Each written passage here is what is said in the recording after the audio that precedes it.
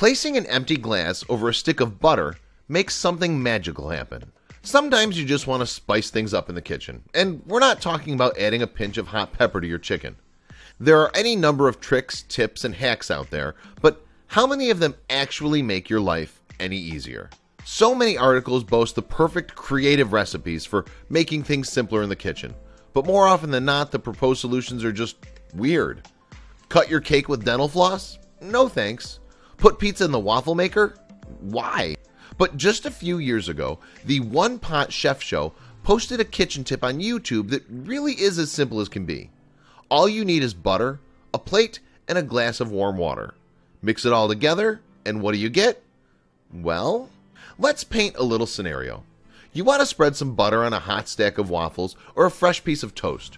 You were supposed to soften it, but you left the stick tucked away in the back corner of the fridge until the last possible second. Rather than wait for it to warm up, simply try this butter softening tip.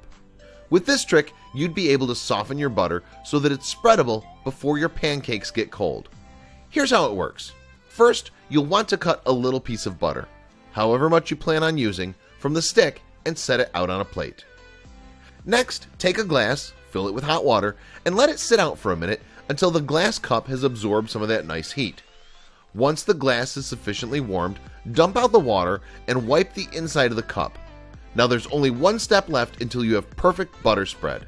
Now take that hot cup, turn it upside down and place it right over the butter, giving your little square of tasty fat a relaxing blast of residual heat. If you let it stand over your butter for a minute or two, it should be the perfect consistency for you to spread over your pancakes or waffles.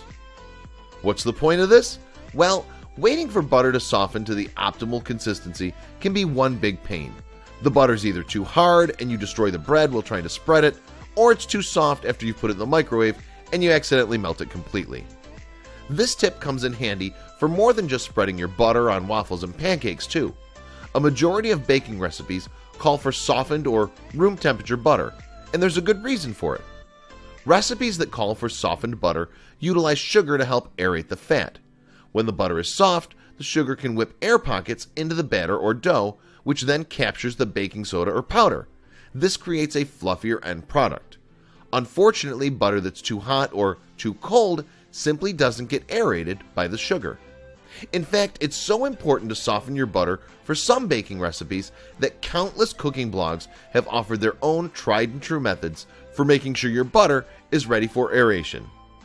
These other methods of butter softening can be just as simple as the one offered by the One Pot Chef Show. Others take a bit more time. They include cutting the butter into small chunks or leaving them next to the stove or sticking your butter in a Ziploc bag and rolling it with a rolling pin. There are a number of ways to soften your butter before baking, but whichever you choose, it's important that you don't skip this step. After all, this can be crucial to improving the overall taste of your recipes.